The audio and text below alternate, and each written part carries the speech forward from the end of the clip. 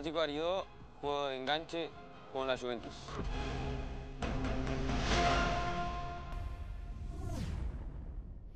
De Adrogué, zona sur. Ahora estoy en Italia. Mi mamá, mi papá, dos hermanos.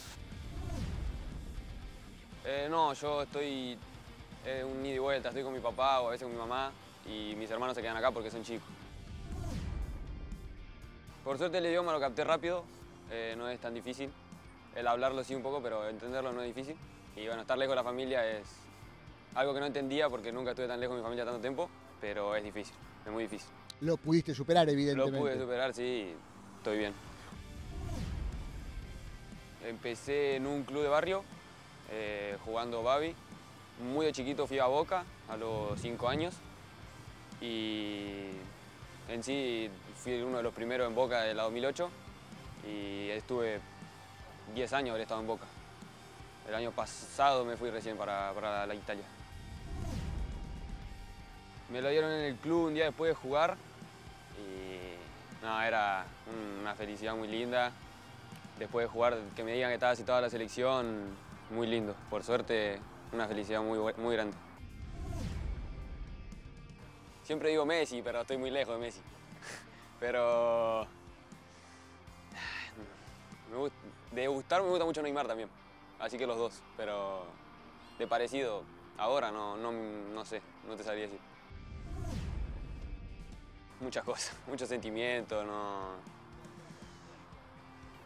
No, no, es una felicidad demasiado grande, una felicidad muy grande, la verdad. Eh, para mí lo es todo. Fútbol es divertirte con amigos, eh, competir, pero más que nada divertirte siempre, siendo profesional.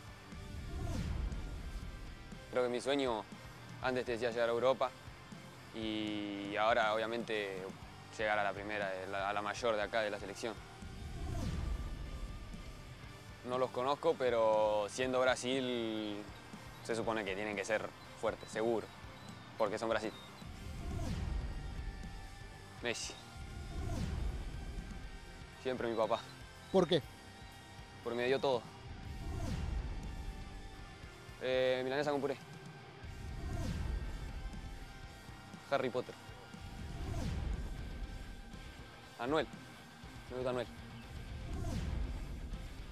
No sé, cocinar, no sé, un par de cosas, pero... Sí, cocinar. Algo relacionado al deporte, pero... Preparador físico podría ser, pero algo relacionado al deporte.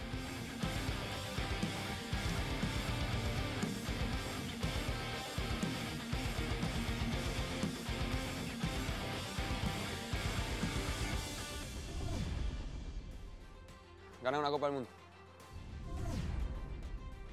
Una meta fuera del fútbol. Poder hacer feliz a mi familia.